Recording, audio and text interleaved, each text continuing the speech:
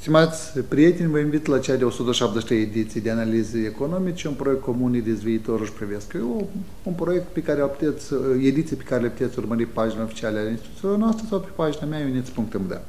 Suntem în prima săptămână de după alegeri. În ajun de alegeri am făcut statistică electorală, astăzi vom face statistică post-electorală. Nu vom repeta datele care dumneavoastră puteți ușor accesa pe pagina oficială a cecului. Ele au fost transmise în regim normal, rapid, foarte bine, toate datele acestea au, le-am prelucrat și vreau să scot anumite lucruri în evidență care cred că nu va fi interesant. Chiar am să rog colegii ca toate aceste date să le distribu inclusiv și la mass media în formă de fișier PDF. Din simplu motiv, cred că aceste date pe care le voi prezenta sunt utile celor care fac analize, celor care vin cu opinii și fiecare cetățean al Republicii Moldova care vrea să înțeleagă mai bine ce a fost duminică, cum am votat noi, a fost mai bine, mai rău ca alte date. Haideți să, ne uit, să începem la niște cifre care toată lumea le cunoaște. Am avut la urile de vot 1.562.700 de alegători. Eu am răpungit cifrele, deoarece datele exacte le vedeți pe pagina cecului, dintre care alegătorii noștri îi împărțim în trei grupe distincte. Așa este țara noastră, mai puțin mai specific alte. Prima sunt cei care sunt pe malul drept a care sunt astăzi acasă și au votat 1.306.000 cei care sunt peste hotare, noi spunem diaspora, de voi folosi noțiunea, peste hotare, 240,5 mii și cetățenii Republicii Moldova, care au dreptul de plin de a vota, se află în stânga Nislului și au venit și au votat pe partea de a Nislului 16,1 mii alegători. Deci aceștia sunt cei care au fost la vot. Acum întrebarea, câți au venit, care este rata de participare la vot. Când spunem rata de participare la vot, CECU spune că avem 3,3 milioane alegători înscriși. Eu o voi opera cu alte cifre și în toată analiza care o fac eu. Eu operez la următoarele cifre. Conform Biroul Național de Statistică, astăzi, cetățeni cu reședință care sunt acasă, sunt 1.915.000 de cetățeni, dar la începutul anului, acum admit că numărul lor este puțin mai mic, la mine cifra este puțin mai mică în calculele mele, dar la începutul anului erau 1.915.000 de cetățeni. Noi știm aproximativ că în 2019 eh, eh, Biroul Statistic nu mai publică datele privind numărul total a cetățenilor, dar facem estimări și știm aproximativ că cetățenii avem și noi putem calcula destul de exact câți din ei sunt peste hotarele țării, iar din stânga Nistrul Cecu ne spun că avem 274.000, eu estimam întotdeauna circa 300.000, iau datele Cecul 200 aproape 75.000 de cetățeni cu drepturi de vot. Deci având acești oameni, știind câți oameni sunt astăzi acasă, real, știind câți oameni sunt peste hotare real, știind cât sunt în stânga Nistrului, noi putem spune în felul următor. Cei care erau acasă, în proporție de 69,4%, ceea ce este o cifră extraordinar de mare, veți vedea, într-adevăr, este felicitări cetățenilor Republicii Moldova care au votat, 69,4% au mers la vot. Deci, practic, majoritatea cetățenilor cetățenii noștri și-au îndeplinit această obligație sau drept și obligație constituțională. Cei care erau pe psihotare am avut iarăși o, pre, o prezență fără precedent pentru primul tur, 24,4%, deci fiecare a patrulea cetățean din Republica Moldova care se află pe psihotările țării Duminică a fost la vot. Cei din stânga Nistru 5,9%. Știți dumneavoastră ce se întâmplă? Oricum, după mine, este o cifră destul de bună și îmbucurătoare. Media totală 49,7%, ceea ce este îmbucurător. Cifra este micuță, ați bănuit din cauză. Cei de psihotare, evident că nu pot veni toți la vot. Și cei din stânga Nistru, din păcate, noi nu putem controla în tot mai ce se întâmplă acolo, dar nu uităm, ei toți sunt cetățenii Republicii Moldova. Din perspectiva ultimelor ani, am luat din 94, când au fost primele alegeri parlamentare în Republica Independentă, Republica, Republica Moldova, sus sunt număr total de voturi, jos voturile celor care sunt în țară. Dacă observăm 1.306.000 de alegători, noi ultima dată am avut la parlamentare 2019 și în turul 2 am avut la prezidențiale din 2020. În rest, dacă observați, în ultima perioadă noi nu prea avem alegători în țară, din simplu motiv că ei nu sunt. Am luat ca, ca număr total 1.563.000, dacă observați, în turul 2 în prezidențiale am avut ceva mai multe, iar în rest este o cifră, cum să spun eu, destul de impunătoare. Deci este o cifră foarte mare, chiar cu mult mai mult decât am anticipat eu că vor veni la alegeri. În eh, cei care sunt, nu din eh, diaspora tot vreau să folosesc, cei care sunt plecați peste hotare, Prima dată noi am avut cei plecați pe sotare cu un vot destul de reprezentativ, în 2005 16.000 de cetățeni au votat. Numărul lor a crescut constant în această perioadă, acum am avut, am rotunjit, țineți minte, 240,5, să am rotunjit până la 241 de mii, această cifră impresionantă este într-adevăr impresionantă. Mai mult am avut doar în turul 2 în anul 2020. Putem spune că avem o prezență pur și simplu spectaculoasă. Dar după câte știți, numărul total nu spune prea multe. Haideți să ne dăm procentual, adică cât, este de, cât de activ a fost cetățeanul Republicii Moldova. Dacă observăm 69,4%, mai mult decât 69,4% am avut exact 10 ani în urmă, când din toți cei care se aflau în țară, 72% au ieșit la votare. Deci rata prezenței la vot a celor aflați în țară eh, a fost destul de ridicată până în 2014, iar eh, după aceasta ea a scăzut eh, destul de semnificativ, iar acum avem o renaștere a venirii cetățenilor la vot, deci avem o creștere pur și simplu fără precedent în ultimii 10 ani de zile, aproape 70% de cei care sunt în țară au venit la vot, un record absolut pentru ultimii 10 ani.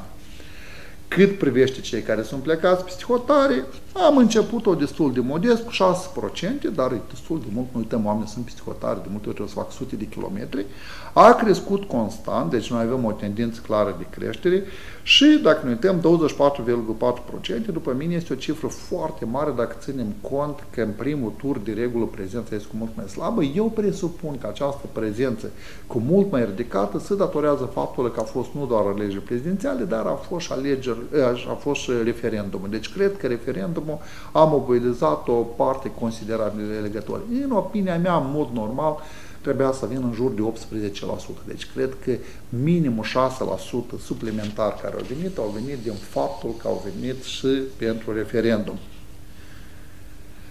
Interesant care este ponderea celor plecați pe hotare în totalul voturilor. Din totalul voturilor care au cumulat, care este contribuția celor plecați pe hotare. În 2005 era un procent. Practic, cei care pe hotare vineau la vot, dar ce spuneau ei nu conta deloc, era la nivelul marjă de eroare, îmi cer scuze pentru cei plecați pe hotare, dar într-adevăr vocea era lor foarte slabă. La parlamentarele din 2019, care era mai ridicată, dar 5%, doar a fost o prezență foarte bună în țară, am avut un record absolut în prezidențial 2020, când vocea lor a fost de 15,5%, deci practic fiecare a șaselea vot sau fiecare a șaselea vot care l-a obținut unul din candidați era venit de pe psihotare și acum avem practic același record. Ținem cont că suntem în turul tui, întâi 15,4%. Practic fiecare a șaselea vot exprimat acum este acelor plecați psihotare. Deci cei plecați psihotare au voci din 5 mai puternic, observă la un procent, a crescut până la 15,4%. Dar haideți să ne întoarcem la prezidențiale, că noi, vedeți, le-am pus în grafic toate alegerile care le-am avut. Am uh, decupat pentru dumneavoastră alegerile prezidențiale. Am avut trei, 2016, 2020, 2024. Ce a fost, care a fost rata de participare în țară? Dacă prima concluzie care o putem face, și este una foarte clară, la aceste alegeri prezidențiale în țară am înregistrat cea mai mare rată de participare din istoria noastră. Nu vorbesc de ani până în, din, după ce iarăși președintele este ales de tot poporul. Am avut rate bune până în 2014 erau, dar din ultimele trei alegeri, când noi alegem președintele direct, este cea mai mare rată de participare. Chiar în turul 2 în 2020, noi am avut 66,1% de participanți, mai puțin decât acum în turul 1. Deci, uh, cred că acest prezență mare se datorează în mare parte și referendumului, dar avem o rată de participare cea mai mare din toate scrutinile prezidențiale a celor aflați în țară și este mai mare chiar pentru turul 2 din toate celelalte scrutinii prezidențiale.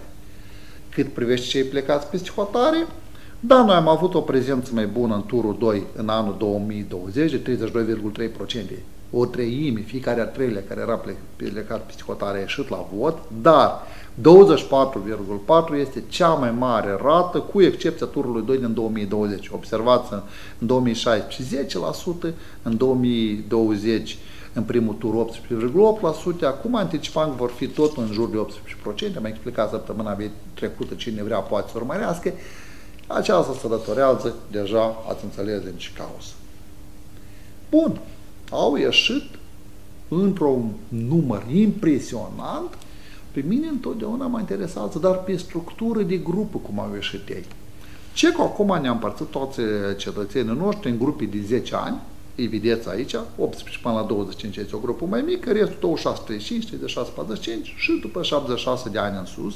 Noi am avut o prezență de 69,4% și aici sunt două concluzii. Prima, 66-75 de ani, de fapt 56-75 de ani, dar cel mai mult e 66-75 de ani, 82%, deci 80%, deci această grupă de vârstă, de la 56 până la 75 de ani, are cea mai bună prezență din, nu știu, cred că a fost pe anii 90, dar așa ceva, deci nu a fost în istoria noastră să ai, practic, mobilizare totală, 80% din oameni au ieșit la vot. Iar a doilea hipersurpriză, nu surpriză, dar hipersurpriză, sunt tineri 18 și 25 de ani. Nu știu cine. TikTok-ul sau cine i-a adus la voturi, îmi cer scuze pentru tineri, nu vreau să vă ofensez, vă spun de bine asta, 60%. Ca să înțelegeți ce vorbim noi, de regulă tinerii vin în proporție de vreo 30 40% mai slab decât media națională și prezența lor este la nivel de 40%. Deci acum am avut cu 50% mai bună mobilizare a tinerilor decât de obicei. Deci este o prezență, mă tem să spun acum, dar presupun că nu mă înșel, cred că l-am avut niciodată în istoria alegerilor noastre ca Republică Independentă o prezență de 60% a tinerilor. Deci este pur și simplu o prezență inimaginabilă. Puteam eu presupune că vor veni nu 40%, 45%. 50 deja nu puteam imagina, dar 60 dacă îmi spunea cineva, eu pur și simplu mă întorceam și nu ascultam. Deci este o prezență pur și simplu inimaginabilă. Prezența la vot a celor aflați peste hotare, 24,4, deci aici este relativ uniform, dacă vedeți în țară este așa, cu excepția grupii de peste 76 de ani, este evident o persoană în etate, aflat de parcă la sute de kilometri, pentru că este foarte greu să meargă la vot, în rest prezența este una relativ uniformă. Acum, când e soamne la vot?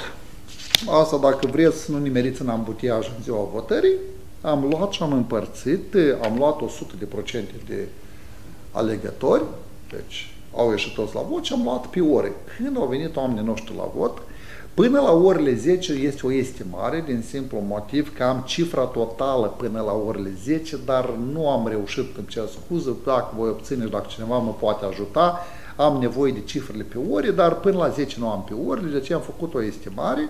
Dacă observăm, seara și dimineața, evident, este cea mai slabă prezență la vot, Votul masiv al cetățenilor Republicii Moldova se începe de la orele 10 până la orele 14. De la 10 până la 14, cetățenii Republicii Moldova au votat, 45% au votat în perioada aceasta. La orele 13 7 minute a intrat cel de-a 50-lea sau jumătate din legători. Deci până la 13 minute, noi am avut jumătate din toți alegătorii care în ziua votării au venit și au votat în Moldova, s-au prezentat la vot. Deci aici este cum au votat cetățenii Republicii Moldova aici acasă. Dacă observăm, de la 10 până la 14 a fost cel mai mare vot, recordul orele 11 până la 13. Deci la 11 până la 13 s-a votat 25%. Fiecare a patra cetățean a învățat de la 11 până la 13. Dacă ați nimerit în ora asta, tot a fost în ora asta, credeam că sunt ceva e, special și văd că nu sunt special, sunt ca cea mai mare parte a cetățenilor Republicii Moldova.